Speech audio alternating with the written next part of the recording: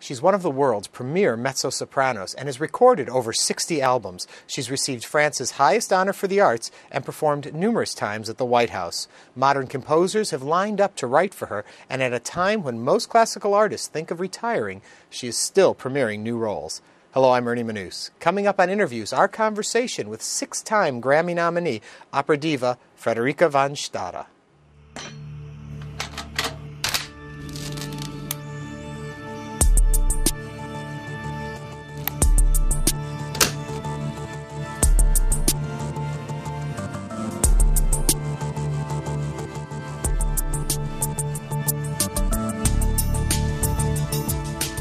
One thing that I've noticed in a lot of people that we've been interviewing is a big, grand start in a long career. Do you find that to usually be true? A big grand start? Yeah. No, No, I don't. really? I I find that careers have a certain momentum, and sometimes those the big splash in the beginning is an awful lot of pressure for a new artist, a young artist. Um, and it seems like it's a big splash right in the beginning, but I think very often there's been a there's been a lot of preparation that isn't maybe as visible. So an overnight success might not quite be uh, I overnight. not quite be overnight. There's, you know, if it's someone who's 19, they've probably been singing or dancing since they were 15, or Yeah. or thinking about it. You know, Did you have parents that were pushing you in the direction to start? no, all my family were just just a tad mortified by my career. my mother used to get so nervous about my singing that she she could barely not even come. It's hard to watch someone you love perform because you you can't separate the performer from who you know and love. And so Right. I think sometimes it's hard. I had a grandmother, uh, on the other hand, who actually sang with the Houston Grand Opera. Really? She came, we did a production of The Seagull here. It was one of the first things I did. And the wonderful composer, Thomas Pasatieri, and our director said, Let's have Granny be one of the walk ons. and she was. And opening night, my dressing room here at, at the Opera House, it was at the jo- Jones Hall then, was knee deep in roses. And not one of them was for me. They were all for Granny. Did so- you come out of a family that appreciated classical music, though? Not really. So my how do you find the love? My dad did, my, but he was he was killed in the war very early. He was a classical pianist. Um, my mom always loved it, but not in any official capacity. And it was just I wanted to be a, a Broadway singer, so I sort of backed into opera, and I'm so grateful that I did because it's a it's a wonderful, wonderful life, you know, to live with Mozart and Mahler and Rossini. Now, you talk about loving that music, and you also talk about starting with the Broadway show tunes. And Mm-hmm. Show stuff. tunes, yeah. It seems to me such a different discipline. How does one that has an affinity for the showstoppers move into opera? They seem so different. Well, it's a totally different use of the voice to a certain extent. To a certain extent, Bec- but a lot of the original Broadway was what they used to call legit singing. It was Mary Martin at the beginning, um, maybe not Ethel Merman quite as much, but they sang in a very legit operatic way. And you have to remember, in, in those days, in my days, there weren't microphones. The you know Broadway theaters weren't mic'd, and so it was just the power of the voice. Right now, I'm, I just finished a tour with Samuel Ramey, and this whole second half of our program was show tunes. And we thought, oh gosh, you know, people who are classical musicians, they won't like this. People have loved it because to deliver those songs in the medium in which they were conceived. Um, Jerome Kern, Richard Rodgers, Cole Porter, um, Gershwin, Yeah. they all loved their words. They loved their melodies, but they loved words and they were great. It's one of our biggest legacies, the lyrics of that time. Did you ever get to do Broadway? Have you ever done the actual No, Broadway I've done stage? one show, which was here. I did a little night music. Um, no, I never, ever did. Is it anything you miss? I mean, you've played all the great stages of the world, but is there a part that says Broadway?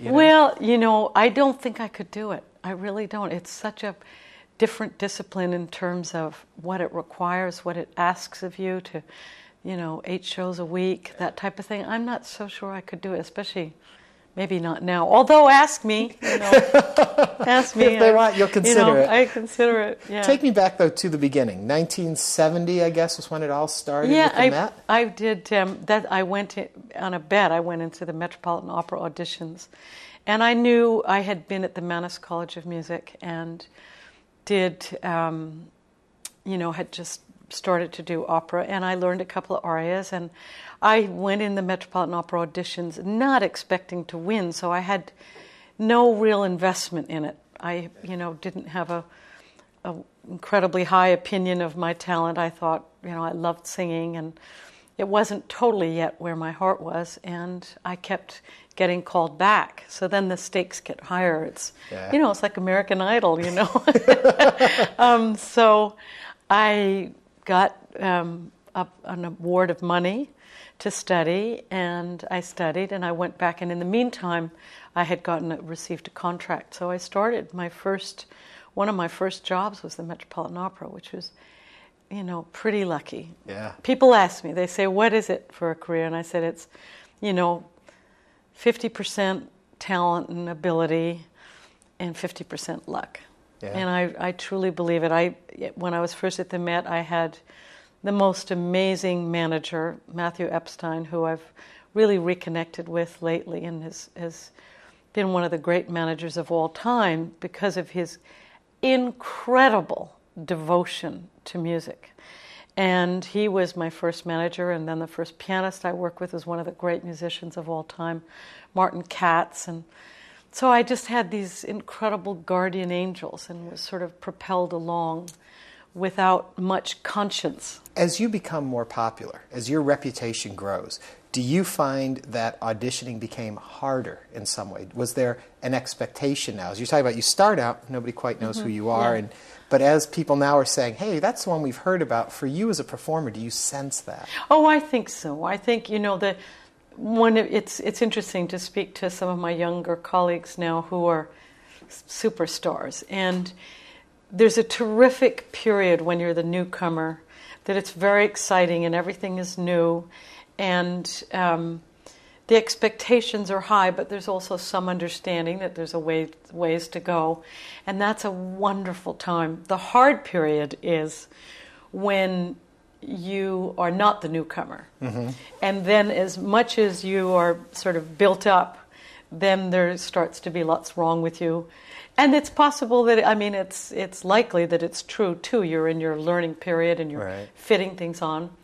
And then you go through a nice grace period, which I'm in now, which is veteran, you know. So, what do we expect? You know, she's old. She's been around. Listen, Um, this is what strikes me very funny about you is that I read all these things where you talk about, you know, you're older now, you're you're taking it easy and all this stuff. You're still premiering new roles. You're doing things that people in the beginning of their career are doing. Why do you still do that? You could coast on a lot of roles that you've done in the past. No, it's I. I the, the roles that I did mainly were 15 year olds, and Well, yeah. trust me, I can't do that anymore. Um, I've just been so lucky. I really have. Um, I've had my guardian angels of, of Matthew and a young, wonderful young manager that I have now, and great musicians around me. And um, I think a lot of it is just really Jake Heggie, who I know you've had on your program, is it feels almost like a son to me. I, I Yeah. adore him, and he's believed in me and written music for me, and I've premiered some of his things. It's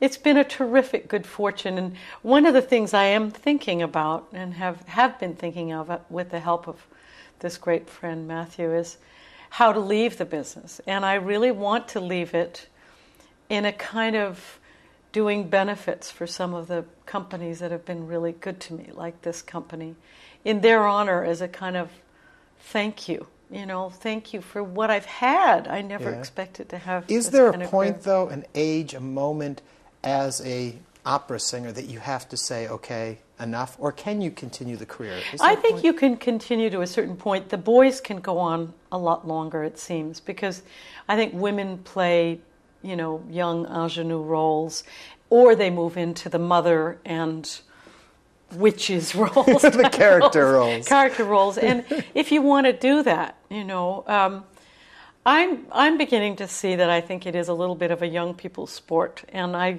I love it. with all my heart. I love hearing the young voices. I love the camaraderie. I love the preparation. I love the stage hands. I love the orchestra backstage, everything. But I there's there's a moment when you start feeling like you're dressed in your daughter's prom dress, you know, that you are a little too old to have a bow across, right. you know, the back of your waist. Um, and that's how I feel. Now, many of my colleagues have gone on enormously successfully, you know, you know, practically till 70. I, I don't think I will. I, I know I'll um, got a couple more years and I'm having great fun doing these I call them my senior PGA tours, um, and they're fun because we do have something to do, and I love concerts. Um, but I, I feel that you know that the time has come. The walrus said, and yeah. it's soon. It's soon. I read a quote where you were quoting someone else, actually, Marilyn Horne, talking about what singing means to the person as opposed to it being their life or making their life. How do you see yourself as a performer, as a singer? How, how much of your life does that take up?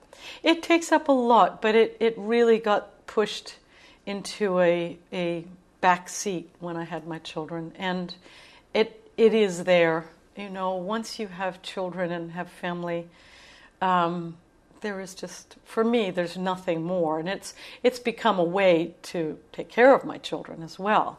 Um, and i still have this blind passion for singing and performing that i've always had. Uh, but i i've always had a pull back to it. And i've been lucky that i've been able to be with my kids and be around my family. But even now being away is, is hard. We yeah. have an I have a new little bonus granddaughter at home. My daughters are doing exciting things, and, and that's the pull is when my very own daughters have their babies. Oh my goodness, you know, they will, you know, have to lock their doors. Um, and and I, I, I feel blessed in that. Were you always this balanced? Were you always this understanding of career as career and family as family? Or was there a time you made sacrifices or made oh, I think, that you oh think? Oh my gosh, it's always, it's always, um, it's never in balance. I'm totally not balanced at all, and it never is. I mean, it's always the the pull for a performer who has children. You know, it's interesting. There was a wonderful old doctor in England, um, whose name I can't remember now, but he analyzed the connection between a singer and their voice not especially opera singers, but any singer in their voice.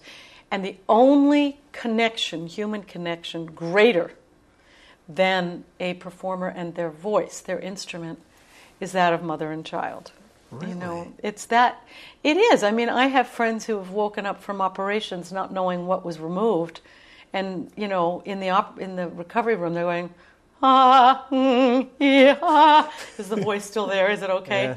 It's that great a connection, and it's it's sort of you have to forgive it, but you have to kind of delight in it too. That yeah. you know we've been and, and many of us have been given a great voice, many more actually today than people know because there's not enough singing in schools and not enough singing in all of our lives so that people can really enjoy it. Can you be taught to be a great singer or is it a gift? I think the instrument is a gift. I think the ear is a gift but you can you can teach a lot. And one of the interesting difficulties of our profession, especially singers, is that if you have a good voice and a good ear, and you've never sung a note of music, in a month you could be taught to sing an aria. That couldn't happen with a with a pianist or a violinist because they're dependent on muscle memory. And if you haven't trained as a pianist or a violinist or a dancer, from an early age, there's just so much you can accomplish at, a, at after a certain point. But a singer can do it, so that um, with a certain amount of basic talent, they yeah. can. I did it. I didn't had never heard of Mozart or Ambroise Thomas, and I learned an aria in a couple of weeks and sang it for an audition, and you know got into a music school. I had not heard of Mahler. I had not heard of Berlioz or any of those composers. the only opera I heard was on the radio when my mom played it, and you know, I. It's the difficulty is is then training yourself to take the baby steps you need to take Right. To actually develop your voice. I heard a rumor you still take voice lessons. Is that Oh true? yes, and there's Really? there's meant to be a you know I work with a wonderful lady in in Oakland who I adore who has such a pure spirit. I gave myself to 60 to figure out you What know, you wanted to do exactly what your I own? want to do with my voice, but I've had to extend that a few years. So, what is it exactly you wanted to do with your voice? Well, I think to, to really use my instrument the way instrumentalists do, I would love to. Um, I I have not been able to, and I I think I came closer than I gave myself credit for when I was younger. And now, with with some seniority, you have to think a little bit more about production. And I'm always learning things, always. And you do learn because the instrument is growing up mm-hmm. or growing older with your body, so it, it always needs readjustment. Are there performances you look back on and remember as, and you might even have, but wish that there were recordings of it? Moments where you thought all the elements just came together perfectly? N- no, I'm far Really? too critical. I think that um, listening to your voice and, and observing your performance is one of the most dangerous things that you can do as a performer because it means that you are sort of monitoring it as you're presenting it. And that takes a certain amount of concentration. And I've had the happiest times when I have not monitored it and have been able to totally concentrate on what I'm doing. Now, that's the ideal. You know, one doesn't come that close Right. because I don't know, one day I was doing a performance and this man keeled over in the middle of it and he had had a heart attack. In And the audience? In the audience. And he was all right. I'm Oh, happy okay. to say. You didn't kill But him. of course, you know, you think, what did I, what was I doing? What did I sing? What did I do? What, do you hated the music or,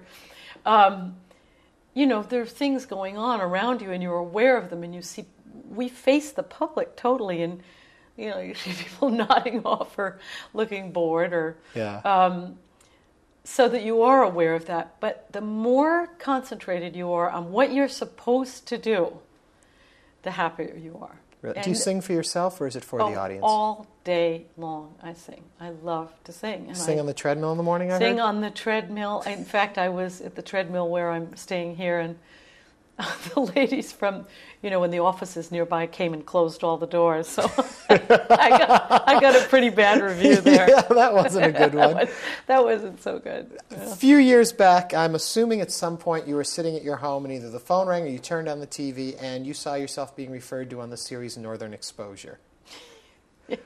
when a moment like that happens, does that is that like a wake up call that wait a minute, I'm in the, the world of pop culture now. I'm a name that people are recognizing. Oh, it's you know, in our business, we we have some lovely exposures, but they're not of the nature that someone like Madonna is. You know, um, Right. I was lucky enough to do the Emmys this year. I sang the da da da da da da da with um, you know for uh, Star Trek and. Oh, I had the time of my life, you know, and television people Yeah. like, are so nice to us, you know. Um, Because we know you have the real talent. no, it's because we do something different, and we are totally in awe of what you do. So there's you start from this place of sort of mutual admiration and respect, and it was just it was like being you know a TV star for So the people don't know what I'm talking about. Those back on Northern Exposure, there was a character obsessed with you, the performer, and it was worked in. And I know that in the opera world, you have a name and a reputation, but to cross over into something so pop culture is really kind of, I think, a kick. For Oh, it's a someone in your kick. business. It's a total kick. And then sometimes if people recognize you, it's it's a big kick too. You know. Opening the uh, the Olympics. How about that? That was fun because I mean that's you can't help be part of the Olympics and not feel this kind of national pride. yeah. And I mean every time I sing in Washington, I just I keep practically saluting buildings because I love Washington so much and. It means I grew up in Washington, and it means a lot to me. You know, the nation's capital, and, and Yeah. it's great. It makes me proud. So being part of the Olympics was a big thrill. Preparing for the Olympics, in, in my mind, that seems so massive and so much is going on that you'd kind of get lost in the shuffle of everything. Do they take care of you at something, or is it get out there, sing, you're going to be on at this oh, moment? Oh no, they take terrific care. Really, in everything I've done that's for television, it's been oh yes, now come over here, and it's two steps, and watch that, and you know, and people. So I had this last time. I had my makeup sort of spray painted on. It was fantastic. It was like this airbrush. Um, they took away all this. Um, it was. I had a ball. No, they're just adorable. Really wonderful, wonderful. I've always had a great experience doing television. I don't know if I ever did. A, my great great regret, I have to say, is never doing a Muppet show. You know, Really? I would have loved to do the Muppets. I love the Muppets. Well, maybe there's still a Sesame Street for Sesame, you there. maybe, You know? maybe, yeah. Performing at the White House. Does that change than performing at any theater? Do you feel the sense of difference? Oh, Totally, Why totally. It's because you're singing for the president of your com- your country, and I've I've sung for a number of presidents, and I've been to the White House several times, and oh, I just walk in the door, and I'm I'm thrilled and excited. I sang a lot for um, President and Mrs. Reagan, and they were just adorable. She was just so sweet to us always. Yeah. Um, and I it just and and for President Bush, I just loved it, and I felt the same thing. You're walking through the White House um, with heads of state, and you know, and, and they're live, and they're sitting there. They're not the best public Yeah. because they're exhausted. You know, they're running countries, um, and you're sitting there, sort of, oh, singing a little tune. Um, but oh my gosh, I'm I'm just bursting with pride when I'm there. There are people who I think seem to forget the fact and get caught up in the politics of it all and forget the pageantry of it, the, the importance of Yes. performing for the head of state as opposed to the political debate going Yeah, on. no, we're not. You know, opera singers are rarely politicians, and and I think that we always you sing for your country, and it's whether you're a Republican or a Democrat, and um, and it means a lot. It means a lot. It's uh, we have we're lucky to have the White House. We're lucky to have Washington. We're lucky to have. Um, the interest in it, you know, and there's Yeah. lots. Be- I'm about to sing for um, Memorial Day, I'm so excited, you know, and I had, had not been to the Capitol in years. I did a benefit for Kennedy Center and, you know, go into the Senate and sit down at Senator Kennedy's desk and go through what, you know, see where he sits and thinks. Yeah. It, it is. It, it can't help but mean a lot. Do you still get, I, I'm assuming you, you get excited with all of these things. Is there a part of you that's jaded at all to the public world, or is it still a fascination? No, it's still a fascination. I don't I don't feel jaded. I love meeting people and you meet people in all from all different backgrounds in, in, in my business and it's always interesting. You know, people who've had different lives and one of the big things that, that impressed me deeply lately was I did a benefit in New Orleans.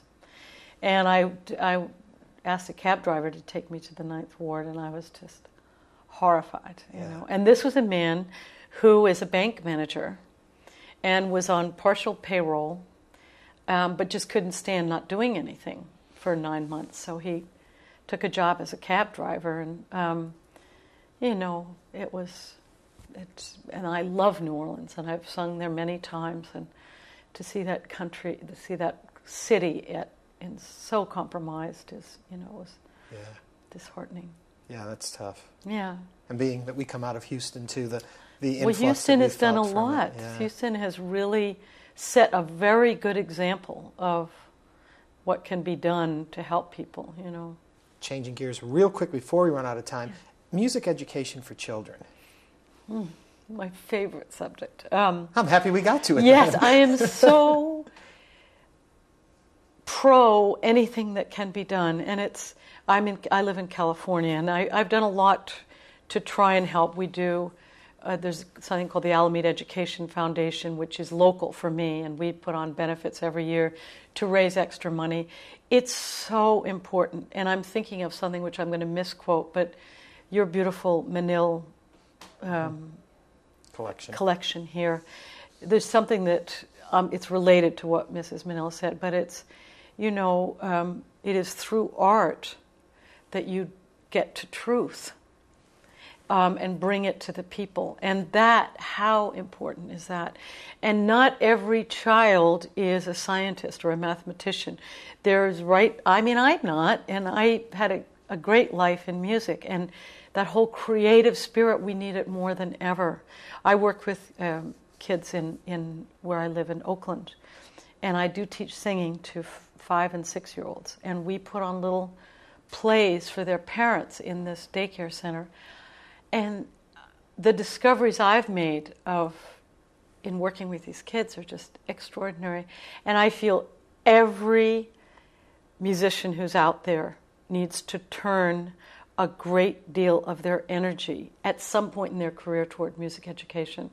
I admire um, Yo-Yo Ma He's done many, and it's it doesn't take that much. Just yeah. you know, an appearance here, funding, an awareness. It's it's so important for what's going to happen to to us as a nation if we don't not just music education but education right. it's everything it can change the course of you know human nature education i think.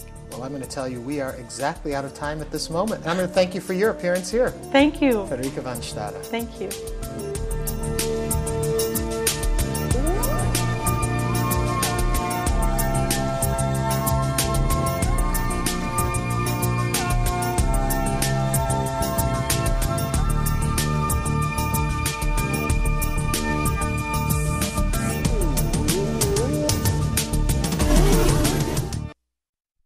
transcript, call 866 652 3378 or send 695 to the address on your screen.